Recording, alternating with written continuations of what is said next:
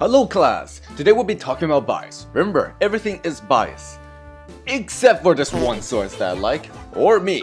And the most biased thing in the world is Wikipedia, so never trust Wikipedia. That thing is filled with information and fuck lies and false news and anybody can go Ah, the hypocrisy of the world. I think we all had that time where the teacher's lecture is all, all about bias, then forfeits the entire thing when the entire thing turns around to herself.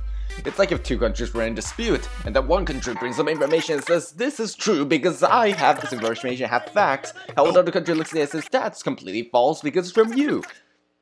That is bias! Uh, except for that's exactly what the whole world is happening right now. But you get my point. Bias is acknowledged by practically almost every educated person around the world. Yet all of them gets all defenses and claims that them themselves can never ever be biased. Thus, I believe that the root of all evil is bias, aside from greed and social media. Think about it, why is it that people hate each other all around the world, and that civilians join the army to fight in wars when all they want to do is just go home and sleep? Is it because we're patriotic? Or is it because we kind of believe that the other person actually meant harm to us, when they most likely aren't, as they are civilians just like us, just want to go home and have a nice sleep.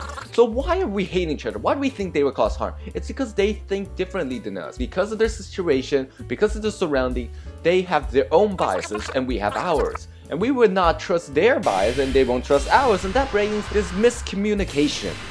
And because of that, they would say something, maybe even bring facts to it, and we would disagree. And we say something, they disagree. And eventually that disagreement gets bigger and bigger, larger and larger, enhanced by propaganda, enhanced by government-controlled media, until eventually we go to a breaking point of fully hating one another.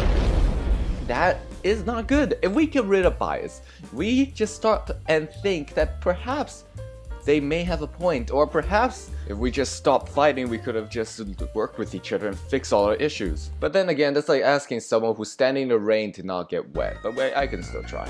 How do we fix this? First up, remember, everybody is biased. Everybody. Yes, even you, even me, even this video.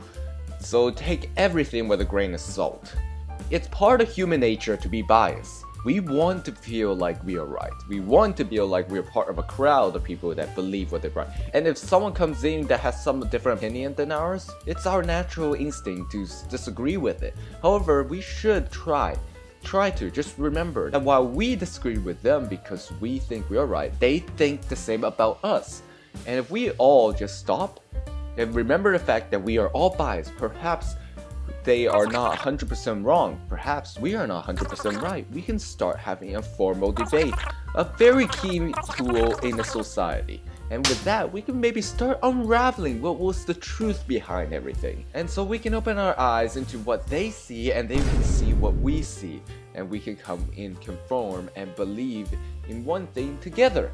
Or perhaps they split and believe in multiple things, but at the end of the day, we notice that they are a human being. They're not just some entity, an enemy that we are seeing across the world. No, they are humans just like us. They have feelings, they have emotions.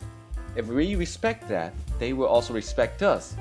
And with that, the world will be a lot more safer, a lot more peaceful, and a lot less conflicted.